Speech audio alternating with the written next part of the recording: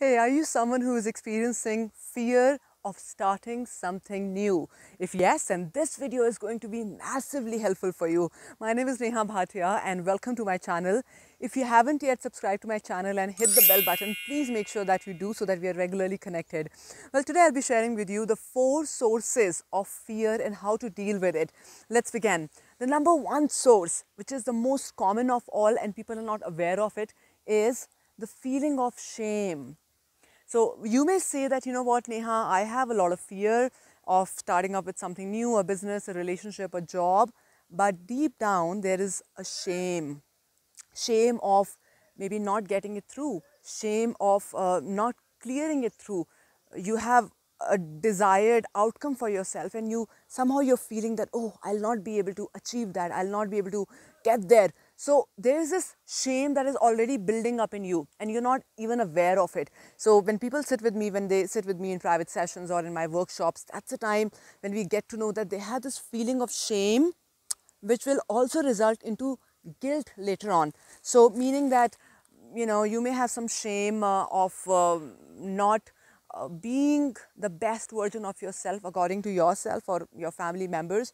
You could also have a shame, maybe you're starting up a new business and you might feel that, oh, I've had losses in the past and what if I lose? So I'll not be able to deal with people, I'll not be able to, uh, you know, be that confident or I'll not be able to just prove to myself and prove to others as well. So there's this shame inside of you that is building up and that's taking a place of fear.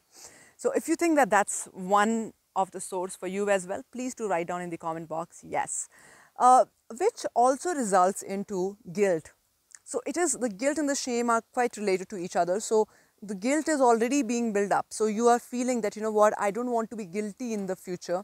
And that's the reason why that fear is building up and you're not taking that first step that you want to, right? So that's the first one. The second is one of the most common source of people is of fear for people is that uh, let's suppose that you have a fear of starting up a job okay?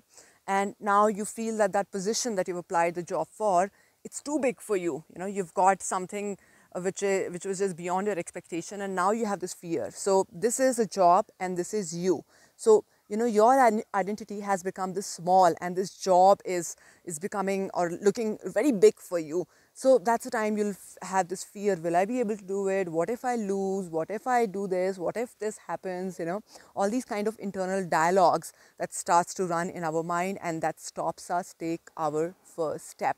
And this is you. So, what you need to do in that case is you need to build up your confidence and you need to make yourself so bigger that this will look a little bit smaller in front of you and this this is like a challenge for you right so this we also teach in our 21 days NLP workshop and uh, you know uh, many people have come to me. They've sat with me taking sessions and uh, the workshops. When they sit with me they're like Neha you know what? This fear that we have it has been building up since years and years. And now just with this one process in 20 minutes i'm out of it. I feel that massive confidence i could have never ever thought of as if i'm living this right this moment. So you can join the 21 days nlp workshop as well if you are feeling that lack of confidence. Now, the third um, source of fear, which once again I have seen in many of my trainees in the last five to six years, and of course in myself as well, growing up being a stage host and then a trainer, is that a lot of times our fear is because of our past.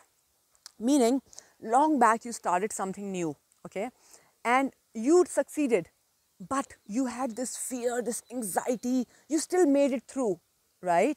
So now the impressions of that fear are still there. You will get it through. You will still succeed. There is no doubt about it. You know of these people, right? Who get anxious, who get so uh, paranoid, and who who are so much into fear, but still they get there. But let me tell you that the impression of it continues to build up. So that needs to be removed. Otherwise, what is happening is that you are taking these emotional and mental emergency brakes again and again which will definitely ruin your health, it will ruin your relationships, it will affect uh, your decisions, your mental health, the most important. So, the third one is that you need to correct your patterns, right? And the patterns are coming from that root, the first time when you had it. So, you need to remove that by the following steps that I'm about to share with you. And the last one, the fourth one, which is once again the most common of all that we are seeing today, we know it very well that since lockdown, uh, people are experiencing a lot of uncertainty in themselves, right? And there is a lot of fear what's going to happen next. So, the fourth source is not just because of lockdown, even before, is the external energy. Sometimes you have some external energies around you which kind of influences you and uh, you're not able to take that step forward. It could be your own family members, it could be society. And these days, it's media and society. You're seeing so much of fear in other people. People are saying again and again, oh, everything is so uncertain, so uncertain. So, what's happening is that you have this, uh, you know, you have this uh, kind of a zone around you and you have not protected yourself well and you are hearing it and you're believing it, yes, that it is uncertain. What has not been uncertain, my dear friends? Tell me. What has not been uncertain? Everything, anyway, is uncertain. And if everything is so certain, where is the fun? Where is the joy? Where is the creativity? So, if this uncertainty is kind of bothering you and then there is this fear coming out of these external energies, you need to play with this fear. You need to have this fun with this fear, and that will come with these steps that I'm about to share with you. So let's begin. The first thing first, the most important of all, which I do, and most of my trainees also apply that in their life, is that we write goals. When we write goals, we become more clear. Now, let's say you might say that, you know what, Neha, I'm only clear of, let's say, 10% or 20% of what I want to do and that could be a reason of your fear. So when you start to write down your goals, what will start to happen is that your clarity will become more and more bigger and stronger. So you write down, let's say 10 to 15 goals. What do you want to do in the next three to six months if you're starting up with a business or a relationship? How do you want it to look like? Now, when you write down more and more goals, what will happen is there is this enthusiasm that will build up in you. There is this, uh, you know, there's this feeling of uh, excitement for future. Right now, there is no excitement. There is fear of future. So there are two most common fears: is fear of unknown and fear of future. So if you have this fear of future, something in future, and starting off with something new in future, then naturally it will kind of just take you over and you don't want that to happen. So when you write goals and not just write it, read it every single day in the morning. So I read my goals every single day in the morning. Now that could be a small goal or a big goal as well. It's as simple as that, you know what, I want to sleep by 11 p.m. I want to get up um, at 5.30 a.m. I want to feel fresh and I want my day to be absolutely fulfilled. These are some of the most common goals that, uh, you know, I, I say for myself and I, I read it loud and I, I listen it, uh, listen some music as well along with that. So it's kind of triggered to me. And then there are some career goals and there are my professional financial goals as well. And it gives me a lot of joy to read it for myself, bring that certainty in myself, and then further I can give it out to people as well uh, through my training workshops. So that's uh, number one write your goals and read it in the morning, not later, in the morning when you get up, right? No watching news or Facebook, WhatsApp, nothing. First hour should be yours totally. And if that one hour is yours, then the rest 23 hours will be under your control. The second uh, way to deal with this fear is that you should know your expectations. You know, a lot of times what happens is we have a lot of expectations from our own selves. Does it happen or not? And uh, probably we are not ready for it. And if we have a lot of expectations, we will kind of feel very suffocated and very sh- shattered and very, very small, like I discussed in the sources of fear as well. And one of them was feeling that lack of confidence. So once you know your expectations, what are you really expecting out of this relationship that you want to get in? Uh, you're starting up a new business. What are your expectations? It could be very much similar to goals, but not really. Expectations is something when we think of high of ourselves and we think of the things, surroundings to help us or to uh, to support us, right? So, expect what are you really expecting in the next uh, three to six months? just write down 10 of your expectations, your own expectations from your team members, from people, from um, uh, the people you're going to meet, right? Um, whatever your expectations are, please write down and just know how to manage it well, okay? And these expectations can only be managed in a better way once you accept your expectation. If you're not able to accept it, you feel that, you know what, I'm going to make it. If it doesn't happen, then everything is going to go wrong. You know, there are a lot of people who are perfectionist. There's no harm being a perfectionist, but it's only going to make you very stiff. And the most successful people on this planet they are flexible. They are not very rigid. They are not very stiff. Yes you have to be focused on one goal. You go forward to that. There's no doubt about it. But you also need to see that you can be flexible. Look at this example of lockdown. People were going forward and just designing their life going forward with what they were doing. But this one turn you know do you see this? The whole world got a full stop people had to change their approach. I always give an example here. For example if uh, you want to go for a job okay and you are you you want to go to the office and all of a sudden you get out of your house and what you see is a construction going on. It's a lot that goes on in our country right? The road is getting constructed. And what is happening is that you're not able to get your car out of your house. For example will you not go to the job? Will you not go to your office? You will find out a way right? You will call your boss or you will do something maybe a day you can take off for example but second day third day fourth day if the construction keeps going on you still have to make sure that you go to your office and get things done.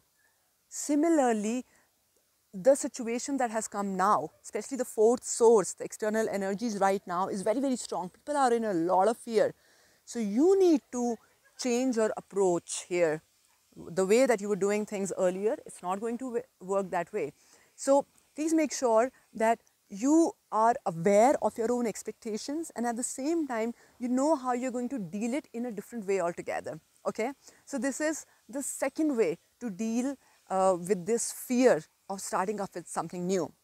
And the last one is my super favorite push yourself for success. And not just once not twice but every single day. And the goals are going to help you. Trust me you don't have to do much to achieve what you really want to achieve. You just need to train your mind in the morning and then just be guided what's being guided to you and go forward with it. Of course, you need to have the right strategies, you need to have skills, all of that is there. But you need to understand that when this fear is coming, it's in the mind more, it's not really outside, right? It's if you're thinking that I may have a loss in the future, you haven't had a loss till now. Right? It's just that it's building up in the mind, but the more you're going to think of it, you're going to attract it. That's why the name of my brand is Align and Attract you align yourself and then you attract what you truly want. So the fourth, the third one is that you push yourself every single day for success, but be ready for the failure as well. To taste that failure.